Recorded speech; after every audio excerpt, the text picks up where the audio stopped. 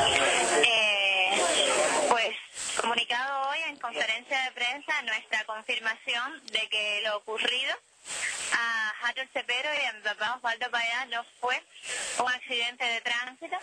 Yo he conversado personalmente con Ángel y me lo ha confirmado, me ha confirmado que los estaban siguiendo, me ha confirmado que le dieron un y los sacaron de la carretera y que inmediatamente después unos hombres que, que venían en otro auto sacaron a, a Aaron y a él del lugar de los hechos.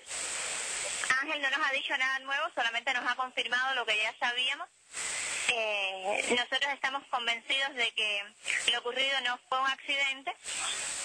Eh, este golpe fue provocado intencionalmente y lo que sabemos es que unas horas después mi padre y Harold estaban muertos. Nosotros, a partir de este hecho, pues estamos pidiendo todo el apoyo para una investigación internacional que esclarezca lo ocurrido, que nos diga cómo murieron mi padre y Harold y quiénes son los responsables.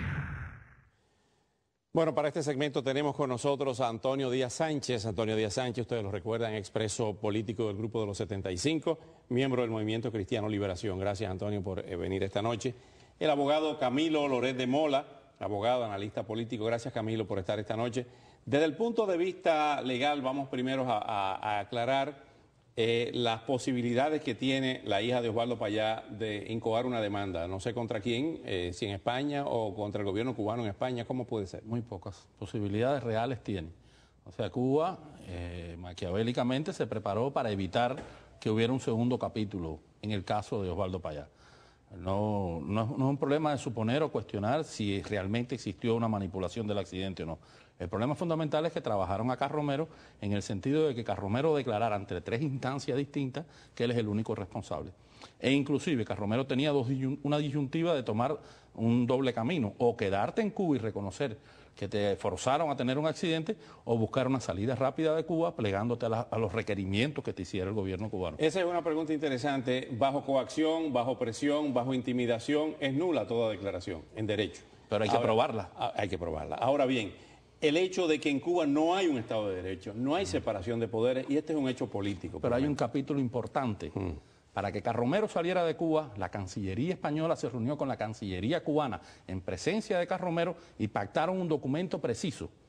Todas las partes están de acuerdo en que el fallo fue justo y atinado a derecho. Todas las partes reconocen que no se puede apelar ese fallo y que el único responsable es Carromero, y firmaron los tres. Perfecto, pero García Margallo, que era el canciller, eh, dijo que el gobierno cubano le había pedido a España que modificara la posición común europea a cambio de la libertad a Carromero. Ok, está bien. Hay que probar lo contrario. Y hay un principio del derecho germánico francés, que es el que se aplica en Cuba y se aplica en España, que dice que uno nunca puede ir contra sus propios actos. Vamos a escuchar a Antonio Díaz Sánchez, vamos a escuchar primero lo que dijo Carromero ante la televisión cubana, simplemente como una forma de recordar eh, esta secuencia de hechos? A nosotros mmm, no nos dio ningún vehículo por la parte trasera, simplemente yo iba conduciendo, me percaté de un bache y tomé las, las precauciones de cualquier eh, automovilista, que es accionar el freno levemente. El, el coche perdió el control, no recuerdo señales, no señales. Esa, esa, es la gráfica que, que, hicieron en Cuba. Antonio Díaz Sánchez, ¿cuál es tu opinión sobre esto que acabamos de ver y lo que a, anteriormente ha declarado hoy Rosa María Payá en una conversación con nuestro productor Julio Lastra? Mira, eh, en primer lugar yo quisiera decir que en términos jurídicos puede estar eh, escaso el espacio, como ha dicho el, el licenciado Camilo Loret de, Loret de Mola, eh, puede estar el, escaso el espacio para una demanda. Ahora bien, lo que está reclamando la familia de Osvaldo Payá y lo que está reclamando el Movimiento Cristiano de Liberación desde que sucedieron los hechos es que se haga una investigación. Esta investigación tiene varios caminos, varias vertientes. Primero, puede ser un proceso judicial, puede ser un proceso político donde intervengan instituciones políticas con la intención de esclarecer los hechos y nadie está obligado a acatar lo que tres acordaron. Un cuarto no está obligado a acatar eso. La familia tiene el legítimo derecho a reclamar esa investigación. Y es lo que estamos pidiendo. Y lo ha hecho Rosa María Payá claramente hoy.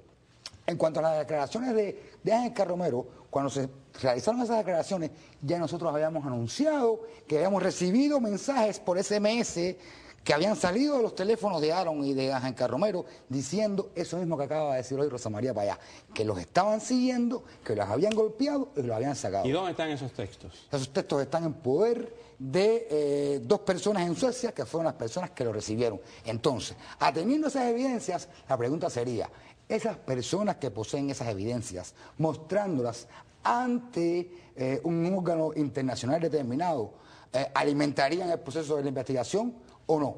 Mira, los textos se mostraron hoy y existen los textos. O sea, no estamos cuestionando que haya sido manipulado el accidente.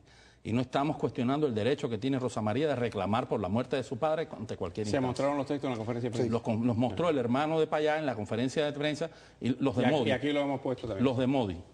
Ahí están. Y. Modi dice, Carlos MCPDM, Carlos Manuel Hospital, Ángel... eh, pero es importante lo que dice, dice, Ángel dice, Modi dice, Ángel dice que un carro le dio por detrás.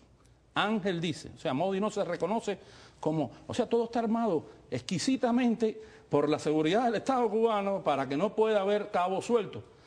Queda el camino político, queda el camino de denunciar De la opinión pública. de la opinión pública. Ese camino sí queda, pero jurídicamente ellos ataron todo. Tienen los videos de Carromero, tienen el juicio con prensa internacional controlada, seguro que sí. En Bayamo, donde se le hizo el juicio a, a Carromero, tienen la declaración ante los cancilleres, las visitas ¿Por qué no se consulares. dejó asistir a la familia de Payá a ese juicio? Porque eran la nota discordante y porque iban a venir con esta situación y le iban a romper el show. Este show está pensado para obtener prebendas del gobierno español y para garantizar que no haya un segundo capítulo jurídico en contra del juicio que orquestaron y del accidente que orquestaron, eh, eh, que son suposiciones. Queda, No lo queda el camino, probar. como dice Camilo, de la opinión pública y del escándalo internacional. Bueno, mm, queda- quedan todos los caminos, porque yo, repito, yo no creo que cuando, cuando las evidencias eh, son, son claras, que el proceso legal quede cerrado. El gobierno español puede ser comprometido a lo que sea. El gobierno español sabemos lo que piensa. Nosotros consideramos que ahora, en este momento, Ángel Romero es un rehén del gobierno español. El gobierno español, hoy mismo el canciller Margallo ha dicho, textualmente cito, la, un- la función de un gobierno es defender a España y a los españoles. El- el- el- De todo gobierno, a sus ciudadanos. efectivamente, pero la pregunta es la siguiente. Esa defensa pasa por encima de la verdad, de la justicia, de la dignidad. Entonces, habría que preguntarse, ¿está diciendo el señor Margallo que da la espalda al crimen, da la espalda al abuso, da la espalda a la dictadura? Yo vuelvo a insistir en que hay un momento muy importante. Carromero detenido post-accidente, en momentos después del accidente. Tiene dos caminos. O digo la verdad y me sacrifico, que es un martirio importante en Cuba, o busco de cualquier manera una negociación que me saque inmediatamente de Cuba. Parece que tomó el camino de la negociación. Nos está bloqueando entonces defender la verdad. Gracias a Camilo, gracias Antonio por venir esta noche.